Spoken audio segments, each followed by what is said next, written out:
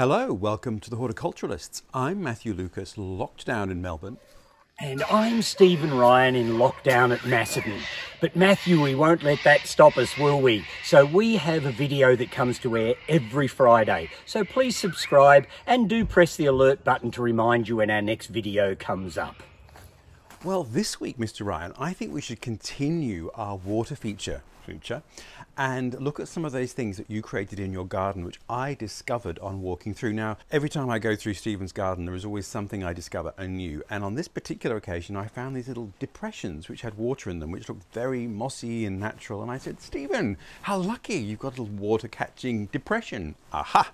All was not as it seemed. Well, bird baths of all sorts are fantastic to have in the garden.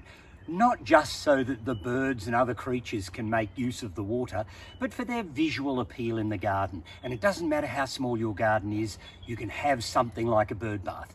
Now in my garden, I've got quite a number of these around.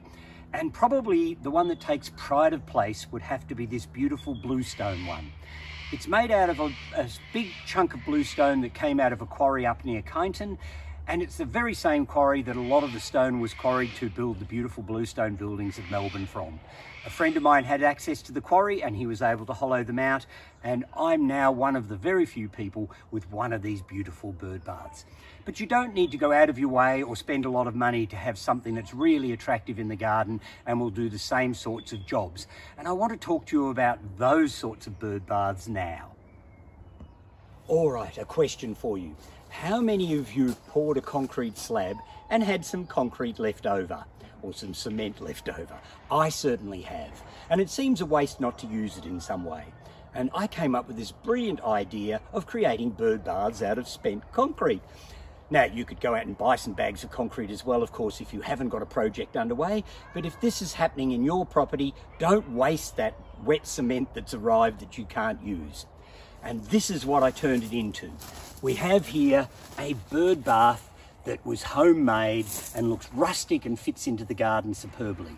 Now, you've got to tell us how you made them step by step. And it was a fairly straightforward and simple thing to do. All I did was build a mound of soil in the garden.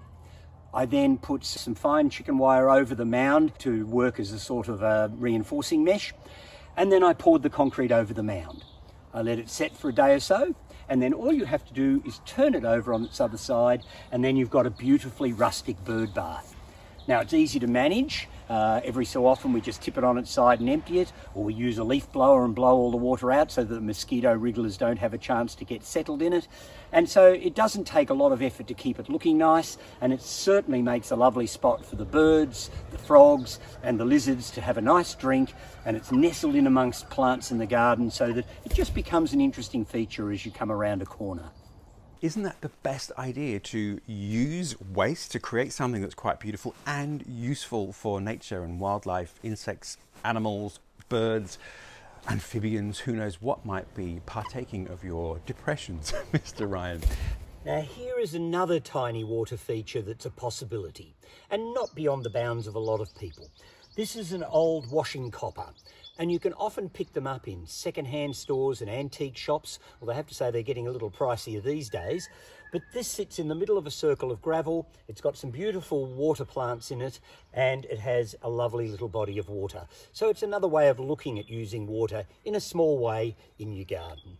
Thank you, Mr. Ryan. A craft class and a horticultural class. And they're so beautiful and just seem to fit into the landscape naturally. And Stephen's got them in shady, damper spots, so it looks very natural. Thank you very much for joining us. We do post every week, so hit subscribe if our continuing journey is of interest. And we shall see you next week for another lockdown adventure of the horticulturalists.